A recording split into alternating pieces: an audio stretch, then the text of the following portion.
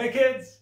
So it's Tool Tuesday and today I'm going to show you how to use an air compressor. This is actually called a pancake air compressor. Uh, it's basically just called that because of the, the shape of it. It's, it's somewhat flat and round like a pancake, but it's a little, you know, unless your pancakes look that thick. Anyway, I don't know who came up with the name. I didn't. So uh, anyway, that's why it's called a pancake air compressor. It's a portable air compressor and it, it's great to have around your house if, you, um, if you're a homeowner.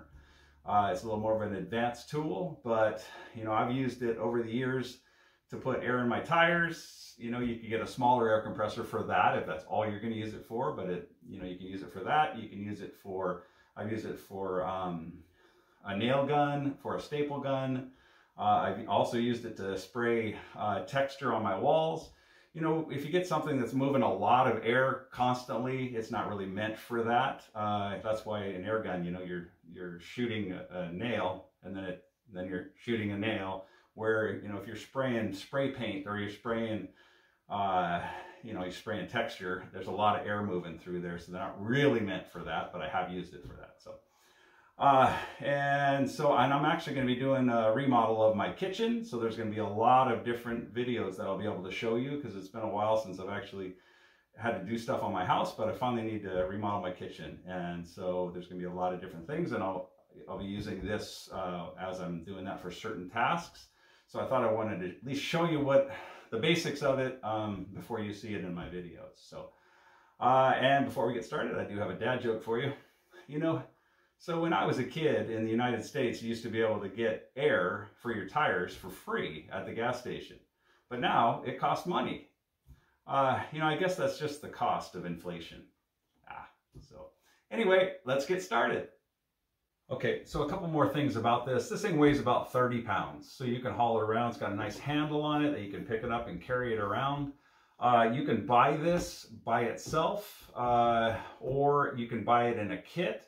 I've seen it in a kit with three guns, or I think two nailers and one staple gun. And I think that's what I have. Um, and then you can, I think you can buy it with one gun. Um, but if you buy it just by itself, you don't get the hose. So you're going to need the hose in order to connect this to your tools. So I think it's worth it to get at least one tool because by the time you buy the hose, you've probably paid for the, by the time you buy the gun that comes with it, at least one gun, uh, you've paid for the hose. So I think it's just smart to, to buy it that way. So I'm going to just walk you through each piece here uh, and how to connect it. I'll show close-ups for you so that you can become familiar with how, how it works. This one's 150 PSI uh, and each uh, tool will have on it uh, what uh, PSI it needs to run at.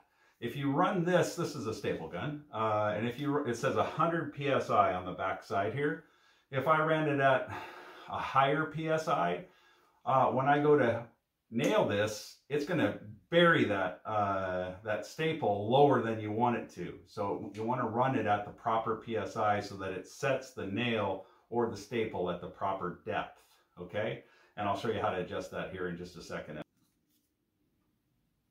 All right, I don't know if you can see that. it's kind of hard to see in the with with the light, but if you look at the back of this gun, it says 100, 100 PSI max right there, right across there. Sometimes it'll be on a label, sometimes, but it, it'll, you know, you just got to look for it. That's where this one is here. It's kind of hard to see since it's black on black, but it's embossed or debossed, I guess you would call that because it's actually sticking up. But anyway, just thought I'd show you that. All right, so the first thing I want to show you is the connector, and this particular one has two connectors, so which is kind of handy. You know, you buy a second hose, and then you can have two guns hooked up to it, and they, then you don't have to keep unplugging one gun and plugging the new one in, and you know, so you if you're working on a project that needs uh, staples and nails, or a bigger nail and a smaller nail, you don't have to keep popping the gun off and popping on the other one. You can just have, have them both hooked up and then use one when you need it and use the other one when you need it as well. I think that's a great feature. But anyway, here's how you do this. All you do, it has a collar on it, okay? And I'll get a close-up of this for you. It has a collar on it. You just pull back and then you stick this one in and then you, and you pop it in just like that. Pretty simple. And then you just pull this out to pop it out, okay? And then you just put it, put it in, pull that sleeve back, and that's how that works. So pretty, pretty easy, right? And then if I was gonna attach a gun, uh, same thing. You got the same type of collar here and you just put it on here, pull that sleeve back, right? It's a little harder if there's air pressure in it to do this, but anyway, that's how that works. Since there's no air pressure, I'm not fighting the air pressure, but that's how that works. You just slide that on, pull that collar back, like that, and it's locked in, okay? And I'll get a close-up of that real quick.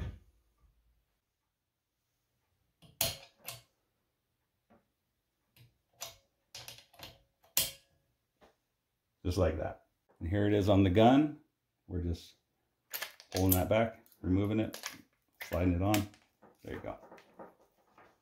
Before we uh, plug it in, I want to show you a couple things, okay? Um, figured I'd show this up close. So it's kind of hard to read this, but right here it says tank pressure. And that's what this gauge is. When, when we plug this in, this thing is going to go up until it's filled up and it should be cut off somewhere around 150, right? 150 PSI because that's what it is, okay? And then this particular gauge is the amount of pressure that's coming out that we need to regulate for the for the tool that we're using, okay?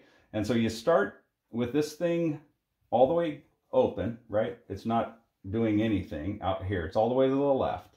And then we go ahead and fill up the tank. So we're going to turn it on. Uh, it's plugged in and we'll just turn it on. It'll fill up and then it'll cut off once it's up to its up to its pressure. Then we'll adjust for that. Just wanted to show you a couple things though too. This is a cutoff right here. This, if you pull this pin, it'll actually let the air out.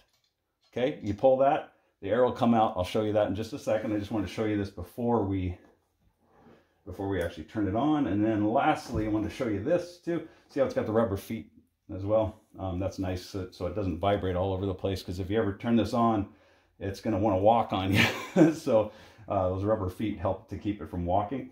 Um, here's your uh, plug. This lets out moisture. Okay, if you open that up, it lets out moisture. You always want to make sure that's closed because if it's not closed, your tank will never fill up. The air is going to keep leaking out of there. Okay, so you want to make that, just make that hand tight. Okay, so let's go ahead and make sure it's plugged in and we'll fire it up. Okay, it's plugged in. All I'm going to do is I'm just going to flip this switch and it's going to make a lot of noise, so I'll probably cut the noise down for you for this video, but here we go.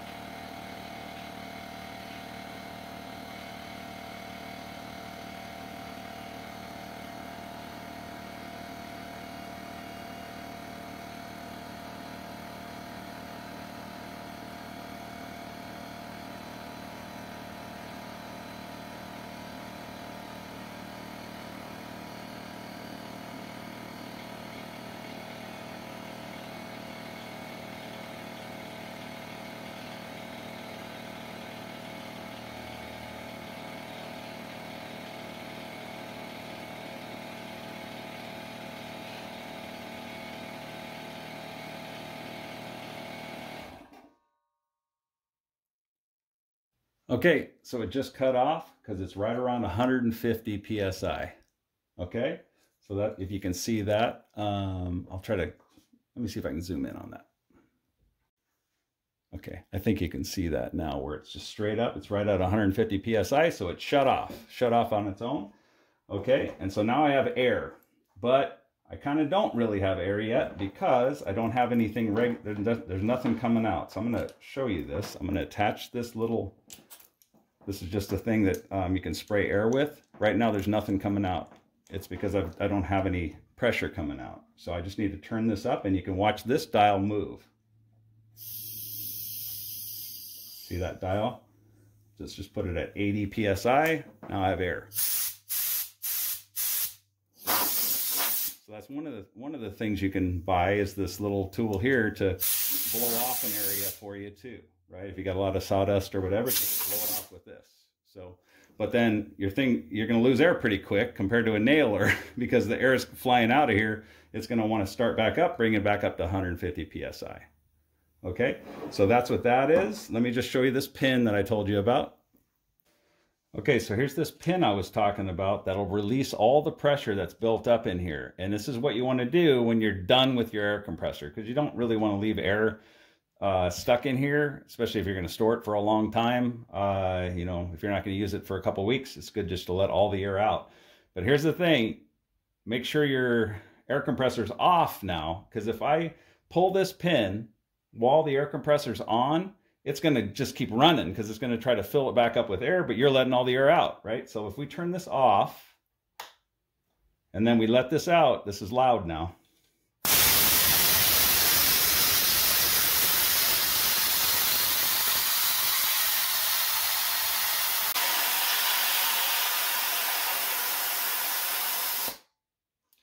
Okay, so it was letting that air out and you could see the dial was going down.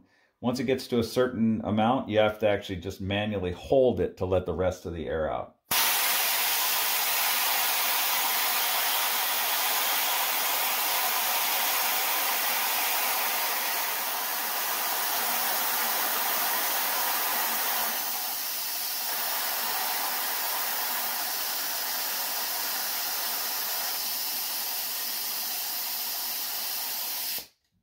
Okay, there we go. That's all the air. And then you can go ahead and dial this thing back. Okay, so that's what you would do if you were going to store this for a while. You just pull that pin and let it all let all the air out. You would just loosen this, right, to let, and that can let the rest of the air out. If you want to completely drain it, you just would do that.